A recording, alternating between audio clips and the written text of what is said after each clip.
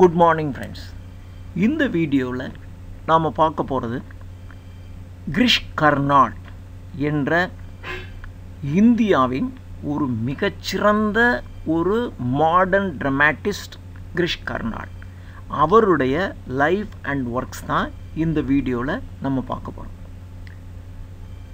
இந்தியாவில் இருந்த மா இருக்கிற மாடர்ன் ட்ரமாட்டிஸ்ட்லேயே மிக த தலை சிறந்த ஒரு ட்ரமாட்டிஸ்ட் அப்படின்னு இவரை சொல்லலாம்.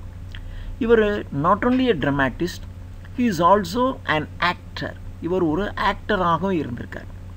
தமிழ்லையே நிறைய படங்களில் சினிமாக்களில் நடிச்சிருக்காரு. சிறந்த நாடக ஆசிரியர். இவருடைய இவருடைய பேஸ் பார்த்திங்கன்னா மராட்டி கொங்கணி. ஆனால் கன்னடத்தில் நிறைய எழுதியிருக்காரு. இவருடைய நாடகங்களெல்லாம் தமிழில் மொழிபெயர்க்கப்பட்டிருக்கு. பல இந்திய மொழிகள்லையும் உலக மொழிகளிலும் இவருடைய நாடகங்கள் மொழிபெயர்க்கப்பட்டிருக்கு. அப்படி ஒரு மிகச்சிறந்த ஒரு ஆசிரியர் கிரிஷ் கர்நாட் இவர் இந்தியாவின் நாடக ஆசிரியர்களில் மிகவும் முன்னிலையில் இருக்கக்கூடிய ஒருவர். ஆயிரத்தி தொள்ளாயிரத்தி முப்பத்தி எட்டு மே மாதம் பத்தொன்பதாம் தேதி மகாராஷ்டிரத்தில் இருக்கிற பாம்பேக்கு பக்கத்தில் இருக்கிற மேத்தரன் என்ற ஊரில் இவர் பிறந்திருக்கார். ஸோ ஆனால் இவருடைய பேஸ் பார்த்திங்கன்னா மேங்களூர் மேங்களூர் மேங்களூர் கொங்கணி இதுதான் இவருடைய பேஸ் ஆனால் இவர் பிறந்தது அங்கே. அதாவது தமிழ்நாட்டில் தான் இருந்திருப்பாங்க. ஆனால் எங்கேயாவது வெளிநாட்டுக்கு போயிருப்பாங்க.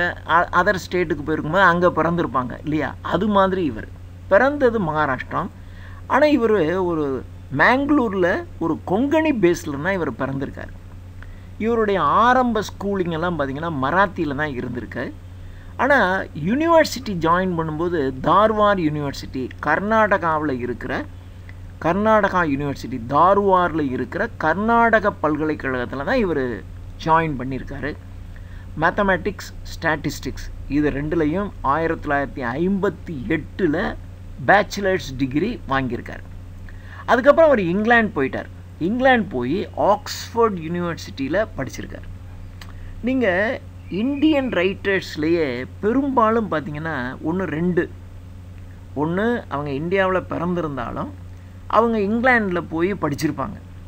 அந்த அந்த படிக்கிற படிச்சிருப்பான் அதனால தான் பார்த்தீங்கன்னா அவனுக்கு இங்கிலீஷ்லாம் அவ்வளோ பிரமாதமாக வரும். ஒன்று சப்போஸ் அவன் இங்கிலாண்டுக்கு போகலை ஃபாரின் யூனிவர்சிட்டிக்கு போகாமல் இந்தியாவிலே இருந்தாலும் பத்திரிக்கை துறையில் இருந்திருப்பான். ஒரு ஜேர்னலிஸ்ட் தான் இருந்திருப்பான். எஸ்பெஷலி ஒரு English magazines English magazine English journal இதில் இருந்திருப்பாங்க. ஒரு ஆசிரியராக அல்லது ஒரு ஒரு எடிட்டர் சப் எடிட்டராக இருந்திருப்பாங்க.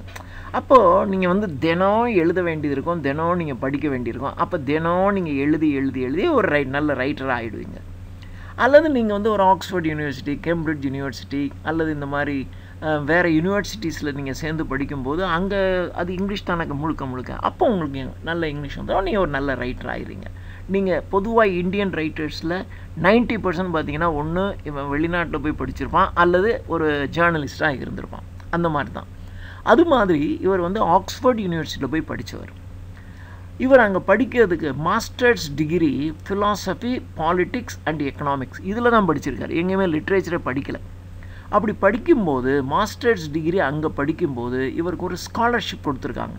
ரோட் ஸ்காலர்ஷிப் என்ற ஒரு ஸ்காலர்ஷிப் வாங்கி தான் படிச்சிருக்காரு. அதுக்கப்புறம் இந்தியாவுக்கு வந்துடுறாரு. இந்தியாவுக்கு வந்த உடனே ஆக்ஸ்ஃபோர்ட் யூனிவர்சிட்டி ப்ரெஸ் இப்போ நமக்கு இந்த ஆக்ஸ்ஃபோர்ட் டிக்ஷனரி எல்லாம் இருக்கு இல்லையா? Advanced learners dictionary Oxford pocket dictionary Oxford mini dictionary என்ற டிக்ஷனரிஸ் எல்லாம் இருக்கு இல்லையா? இந்த டிக்ஷனரி எல்லாம் இந்தியாவில் பிரிண்ட் பண்ணி விற்கக்கூடிய ஒரு நிறுவனம். அது ஆக்ஸ்ஃபோர்ட் யூனிவர்சிட்டி ப்ரெஸ் அந்த ஆக்ஸ்ஃபோர்ட் யூனிவர்சிட்டி ப்ரெஸ்ஸுக்கு வேலைக்கு இந்தியாவுக்கு வந்துட்டார். அந்த ஆக்ஸ்ஃபோர்ட் யூனிவர்சிட்டி ப்ரெஸ் சென்னையில் இருக்குது அங்கே தான் இவர் வேலை பார்த்துருக்காரு. இப்போ நீங்கள் பார்த்தீங்கன்னா மேங்களூர் பிறந்தது மகாராஷ்டிரம் மேங்களூர் கொங்கணி பேஸ்டு இவர் யூனிவர்சிட்டி ப்ரெஸ்ஸு சென்னையில் வேலை பார்த்துருக்காரு. ஆயிரத்தி தொள்ளாயிரத்தி எழுபது வரைக்கும் அங்கே தான் வேலை பார்த்துருக்காரு. அதுக்கப்புறம் இவருக்கு எழுத்துத்துறையில் அதிகமாக கான்சென்ட்ரேட் பண்ண ஆரம்பித்த உடனே அந்த வேலையை விட்டுட்டு ஃபுல் டைம் ரைட்டராக மாறிட்டார். இவருடைய முதல் நாடகம் யயாதி என்கின்ற நாடகம் இது கன்னடத்தில் தான் எழுதப்பட்டிருக்கு. நாட் இன் கொங்கணி இவர் கொங்கணி பேஸ்டு மேங்களூர் இல்லையா ஆனால் இவர் எழுதுனது கன்னடத்தில் எழுதியிருக்கார். இவருடைய மதர் டங் ஆகிய கொங்கணியை விட்டுவிட்டு ஆயிரத்தி தொள்ளாயிரத்தி அறுபத்தி ஒன்றில் யயாதி என்கின்ற ஒரு ட்ராமா எழுதுகிறார் இந்த நாடகம் வெளிவந்தோடனே பயங்கரமான சக்ஸஸ் அதுக்கப்புறம் இது இந்திய மொழிகளில் பல மொழிகளில் இந்த யயாதியானது டிரான்ஸ்லேட் பண்ணப்பட்டிருக்கு. அடுத்தது இவர் எழுதினது துக்ளக் ஆயிரத்தி தொள்ளாயிரத்தி அறுபத்தி நான்கில் வெளிவந்த புத்தகம். இதுதான் யூஜிடிஆர்பி பிஜிடிஆர்பி ரெண்டுக்குமே இந்த துக்ளக் என்ற நாடகம் சிலபஸில் வைக்கப்பட்டிருக்கு. ஆயிரத்தி தொள்ளாயிரத்தி எழுபத்தி ஒன்றில் எழுதினது ஹயாவதனா என்கின்ற ஒரு நாடகம். இது தாமஸ் மன் என்பவர் எழுதின ஒரு ஸ்டோரி அந்த ஸ்டோரியை பேஸ் பண்ணி இந்த ஹயாவதனா இவர் எழுதியிருக்கார். இவருடைய நாகமண்டலா என்ற ஒரு நாடகம் ஆயிரத்தி தொள்ளாயிரத்தி எண்பத்தி எட்டில் எழுதியிருக்காரு. இந்த நாடகம் முழுக்க முழுக்க பார்த்திங்கன்னா லோக்கலில் இருக்கிற ஃபோக் டெய்ல்ஸ் இந்த கிராம் கிராமிய கதைகள்னு சொல்லுவாங்க இல்லையா? அந்த கிராமிய கதைகள் லோக்கல் ஃபோக் ஃபோக் டெய்ல்ஸினுடைய அடிப்படையை எழுதப்பட்டது தான் அடிப்படையை கொண்டு எழுதப்பட்டது இந்த நாகமண்டலா ஆயிரத்தி தொள்ளாயிரத்தி எண்பத்தி எட்டில் எழுதப்பட்டது. அதுக்கப்புறம் இவர் எழுதினது டேல் டண்டா என்கின்ற ஒரு புத்தகம். இந்த டேல் டண்டா என்பது ஒரு கன்னடத்தில் கன்னடத்தில் லிங்காயத் என்ற ஒரு சமூக மக்கள் அதிகமாக இருப்பாங்க. லிங்காயத்து மக்கள் அதிகமாக இருக்கிறது கன்னடம். அந்த கன்னடம் அப்படின்னாவே லிங்காயத்து பீப்புள் ரொம்ப அதிகம் அது ஒரு ஜாதி. அந்த லிங்காயத்து மக்கள் அதிகமாக அங்கே வாழ்கிறாங்க பனிரெண்டாம் நூற்றாண்டில் அந்த லிங்காயத் சமுதாயத்தில் ஒரு செயின்ட்டு ஒரு இருந்திருக்காரு. அந்த செயின்ட்டை பற்றின ஒரு எபிசோட் ஒரு கதை. அந்த கதையை இவர் ரீடோல்டு பண்ணுற மாதிரி எழுதுனது தான் த டேல் டண்டா என்கின்ற ஒரு நாடகம். அதுக்கப்புறம் இவர் எழுதுனது fire and the rain nineteen ninety five இந்த ஃபயர் அண்ட் த ரெயின் பார்த்திங்கன்னா ஃபயர் ஒரு பக்கம் ரெயின் ஒரு பக்கம். ஃபயர்னால் நெருப்பு ரெயினாக மழை நீர்.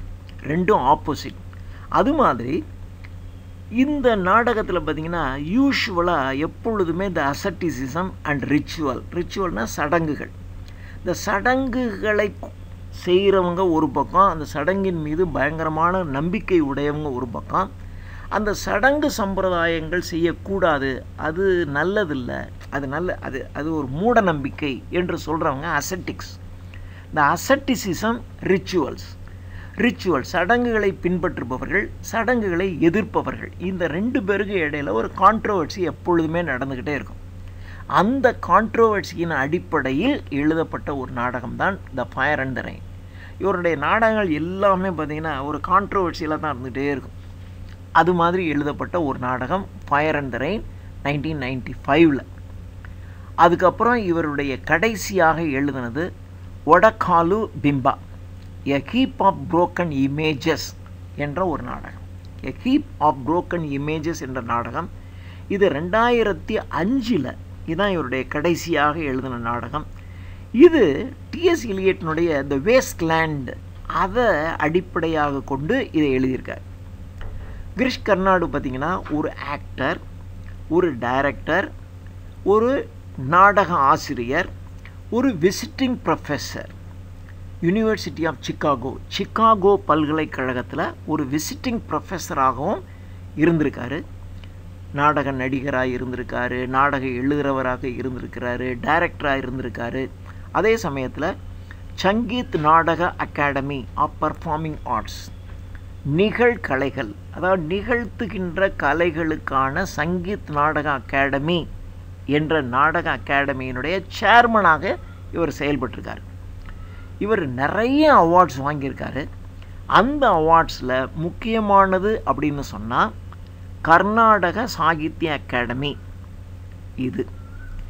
Karnataka Sahitya Academy and the Sahitya Academy award அதாவது கர்நாடக சாகித்ய அகாடமியினுடைய ஒரு ஸ்பெஷல் ஹானர் அவார்டும் சாகித்ய அகாடமி அவார்ட் இது ஆயிரத்தி தொள்ளாயிரத்தி தொண்ணூற்றி நாலில் வாங்கியிருக்காரு.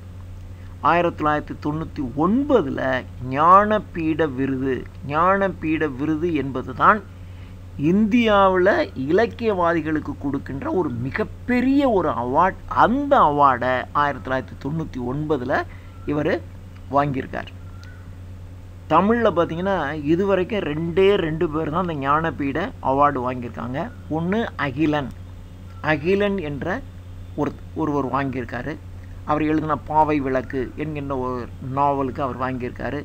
அடுத்தது பார்த்திங்கன்னா அந்த ஞானபீட விருது வாங்கினவர் ஜெயகாந்தன் என்கின்ற தமிழ் எழுத்தாளர். இந்த ரெண்டு பேர் தான் வாங்கியிருக்காங்க.